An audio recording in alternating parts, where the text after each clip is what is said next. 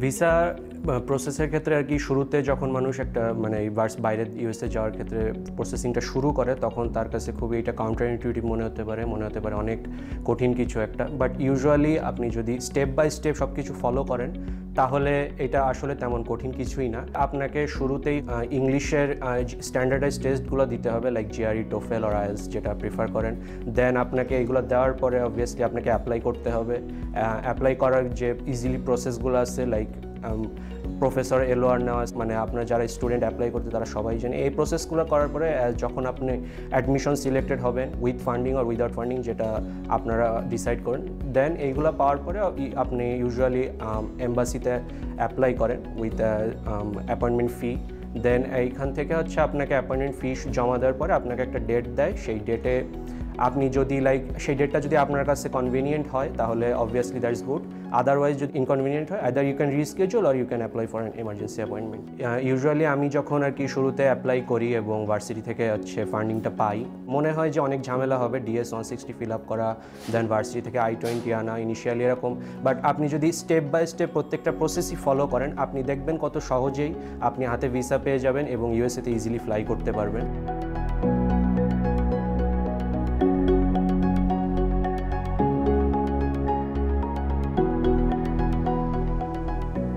আমার ছোটবেলা থেকেই ড্রিম ছিল ইউএসএতে পড়তে যাব পিএইচডি করব।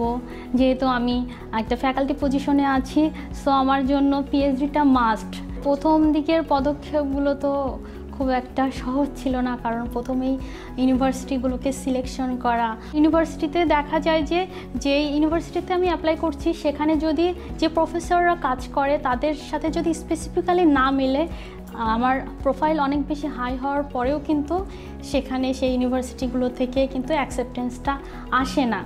ইউনিভার্সিটি অ্যাট বাফেলোতেও সেখানে সেখানে ইন্টারভিউ ফেস করেছি, চারজন প্রফেসর ইন্টারভিউ নিয়েছে থার্টি মিনিট করে এবং ফুল ইন্টারভিউ ডিউরেশনটা ছিল প্রায় ফাইভ আওয়ারের মতো। এই টাইমটুকুর মধ্যে দিয়ে মানে আমি বোঝাতে সক্ষম হয়েছি যে আমার রিসার্চ ইন্টারেস্ট তাদের সাথে অনেকটা মিলে যায়।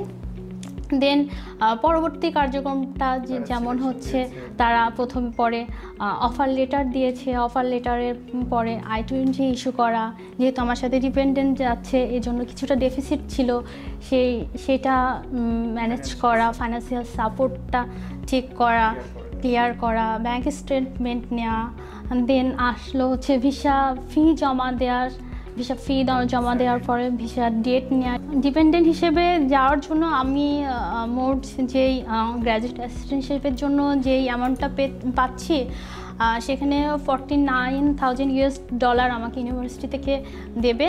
আর আমার মোট খরচ হবে ফিফটি থ্রি থাউজেন্ড ডলার সেক্ষেত্রে ফোর থাউজেন্ড ডলারের একটা ডেফিসিট আসতেছিল। সেটা আমার একটা হচ্ছে সেভিং অ্যাকাউন্টস আছে এবং আমার শাশুড়ি মার একটা সেভিংস অ্যাকাউন্ট আছে। সেখান থেকে মোট নাইন থাউজেন্ড ডলারের টাকাটা দেখানো হয়েছে। আর এছাড়া আমি তো, আমি জব জব থেকে ইউএসএ গেলেও আমার তো স্যালারি থাকবে। সেক্ষেত্রে একটা ব্যাঙ্ক স্টেটমেন্ট আছে। সেটা দিয়ে আমার হাজব্যান্ডের ডিপেন্ডেন্টের খরচটাও মেকআপ হয়ে যাবে।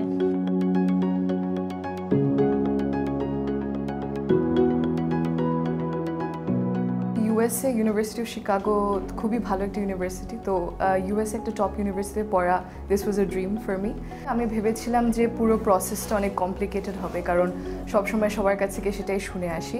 প্রথম যে অবস্টিকলটা ছিল, সেটা হচ্ছে ইউএস ভিসা পাওয়ার জন্য যে পুরো প্রসেসটা তো আমার ইউনিভার্সিটি আই টোয়েন্টি ইস্যু করার যে প্রসেসটা ওটা, ওটার জন্য আমাকে মেতে ইমেল পাঠায়। তো তারপরে আমি আমার পাবলিক এক্সাম নিয়ে আইবি এক্সাম নিয়ে একটু ব্যস্ত হয়ে পড়ি। তো সেটা শেষ হওয়ার পর আমি আই টোয়েন্টি ইস্যু করার জন্য অ্যাপ্লাই করি।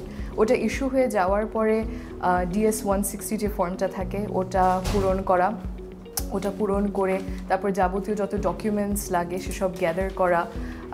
সার্ভিস ফিটা পে করা এবং ভিসা ফি পে করে তারপর একটা অ্যাপয়েন্টমেন্ট স্লট জোগাড় করা। ইউএস এম্বাসি ঢাকার ওয়েবসাইটে বাংলাদেশের ওয়েবসাইটে খুব সুন্দর করে প্রত্যেকটা প্রসেস দেয়া আছে। তো আমি স্টেপ বাই স্টেপ সব কিছু যখন পড়লাম এবং স্টেপ বাই স্টেপ সব ডকুমেন্টস গ্যাদার করে অ্যাপ্লাই করার সঙ্গে সঙ্গে খুব সুন্দরভাবে পুরো ব্যাপারটা হয়ে গেছে।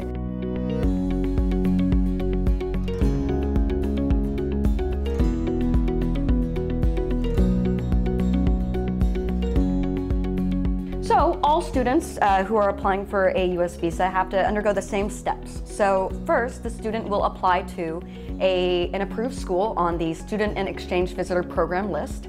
Once they are accepted to that school, the school will issue them a form called the I 20.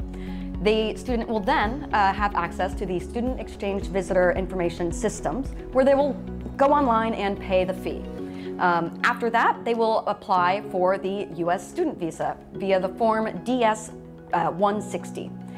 And finally, they will come for the interview. And during the interview, the adjudicating officer, the consular officer, will be looking for three primary things.